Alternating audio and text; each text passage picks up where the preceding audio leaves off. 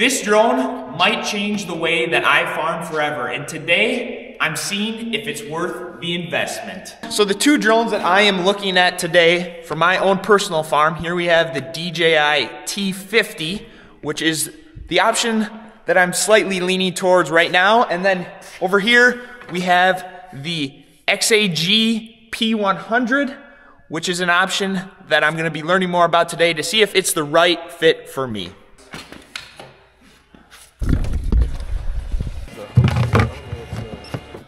One reason I am a little bit biased towards the DJI drone, the one we're flying first here, is because the controller is almost the exact same as the DJI drone that I fly to take aerial videos and photos for all the social medias.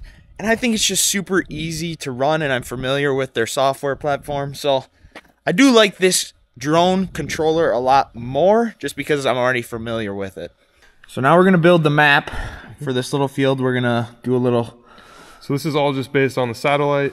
Um, you can take the drone out and use the drone. So that would be here. We're using crosshairs. You can even walk out to the field if you want the exact point where you're standing. You could use the controller or the aircraft. But we're just going to use crosshairs and use the satellite image. So waypoint added. Adding waypoints. So this is essentially the outside edge of the field that we're marking, right? Yep. So pre-flight check is, is kind of what you do before you want to take off. I always check my clamps, make sure those are clamped down. Uh, yep. You don't want to take off without those things locked down. As long as those are good, um, you know, your battery's secure, lid is on. If this flies off, it could break your props. So just make sure. Oh yeah, that one. Um, yeah, other than that, you're pretty much good to go. Thing's loud. Holy smokes.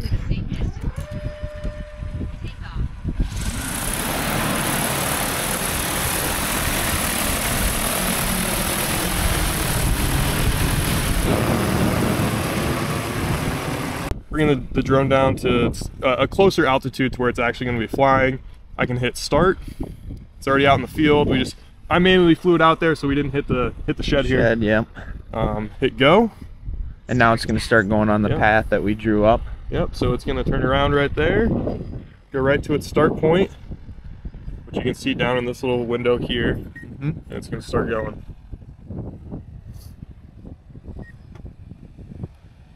There she so, goes. That's not full speed. We'll turn it up here in just a second. So can you scroll the camera when it's going? Like scroll the camera down or just view different things? Yep. So I just turn it up to full speed. So I can look up, I can look down, and then just straight ahead.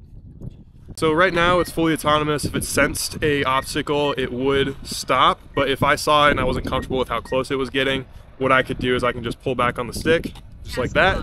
Oh yeah. And it's gonna stop. There it stopped. There in the right field. It stopped. I want to resume the task. I want to keep spraying. I'm good to go. Just hit resume. Oh, nice. So you can just hit resume. You don't got to stop or anything. Yep. And you saw it, it went backwards a little bit. So it's going to go where the spray turned off. Oh, uh, not where the drone stopped. Right. Exactly. That makes sense. The little work that we got done out there, fake spraying the water out. Now Zane's going to show us on the phone some of the custom work that he's done that you can see the completed work and the nice map that it makes. So does this show like how many acre oh that's the acres and then gallons so and... yeah so you can click on each flight path even and show um, you know 3.76 acres done on that flight path um, it gives you all time. that data yeah um, and you can get that for the entire field as well. This is the XAG controller and the phone that goes with it. Yep. So a little bit different than DJI. Obviously not an all-in-one controller, but similar, very similar process. Uh, you get logged into your your app on your phone, and mapping is very similar. So hit mapping. You're gonna have all these same options: oh, obstacles, yeah. no spray zones. No, that's the thing kind of the awkward part of having two uh, two controllers, two controllers, and yeah. For some reason, we weren't able to get the controller to connect to the drone, so we started to unplug what they call the brain of this drone. So it's just one cable that resets all of the hardware and software, and unplug that. Took about 20 minutes to figure out the issue. All right, bye. We're connected now. Took a little to, while, but ready to fly. 20 minutes later, yeah, we're ready to go. Bit. But uh, yeah, it wasn't necessarily a common issue, but a lot of times you just unplug that brain um, after you've gone through all the things, and then it goes it'll, on. It'll start working again. Yeah. Yep.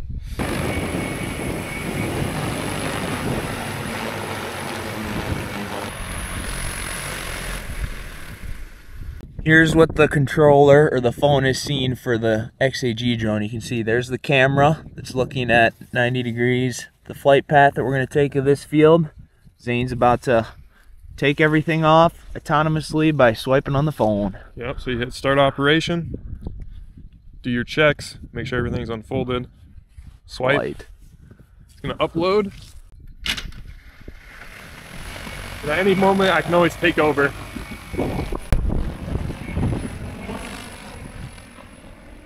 Again, you could set how high it was above the craft. Yep, so this is 15 feet, same as yep. the, what we did before. Um, fully autonomous, this is going 30 miles per hour. Just spraying out some water here. Yep. Now that it's up in the air, um, some differences are the uh, entry point. So you can set an entry, entry point on this one, um, which is really nice. You can essentially put it if there's something in the way, it's not just going to beeline it through that. Yeah. So you'll have an entry and exit point. You can barely see the water getting shoot out of those two sprayer nozzles. Oh, I can feel the water. Yep, there it is.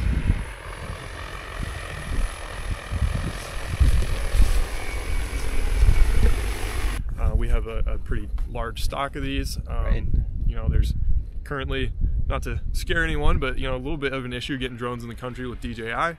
Um, so that could affect the uh, availability in the future depending on what happens. Yeah. So. Is it done or run Yep. Out? So it's done. It's going to come into its entry point.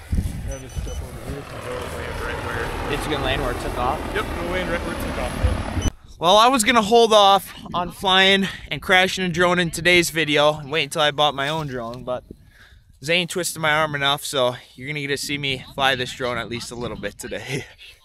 Take it out, put it out in the field, and then yeah. you can resume the mission that we had going. So go straight up.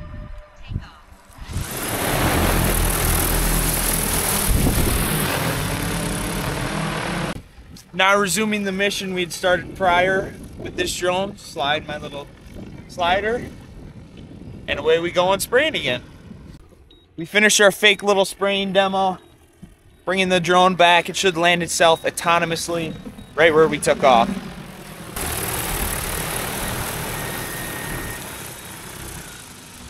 Now I've watched a fair amount of YouTube videos and done my research on these drones since I'm going to be purchasing one next year.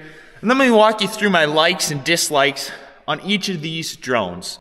On the XAG, I like the bigger tank. This thing holds 13 gallons. I like the double battery. That way, if there's ever a problem with one battery, the other battery takes over. I also like on this drone, it's just built a lot sturdier than the DJI. I like how the nozzles can be adjusted and set at a 45 degree angle. Now the things I don't like, the controller, plus you have to have a specific Android smartphone to go with the controller. That way you can do all the mapping and path planning for the drone. And since I'm an Apple person, can't say I'm overly in love with not being able to just have everything all as one. Also, not a huge fan of the camera. It either shoots straight out like this or straight down, which kind of sucks because if I ever want to go out and do any spot spraying, it's just being able to look at different angles with the camera is going to make that so much easier to find which spots of the fields I want to be spraying.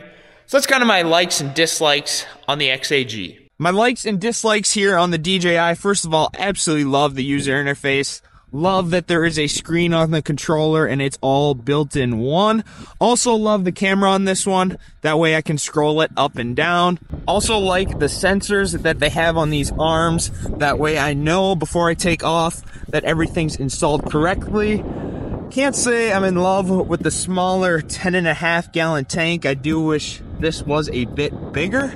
Also with just the one battery on this drone, I'm not a huge fan of the fail-safe because if something goes wrong with this battery, which it sounds like it shouldn't happen, but if it ever were to go wrong, I can't say I love the idea that the drone would just fall. Where on the XAG, at least there's two batteries, so if one fails, the other battery can pick up the pace and keep the drone off the ground.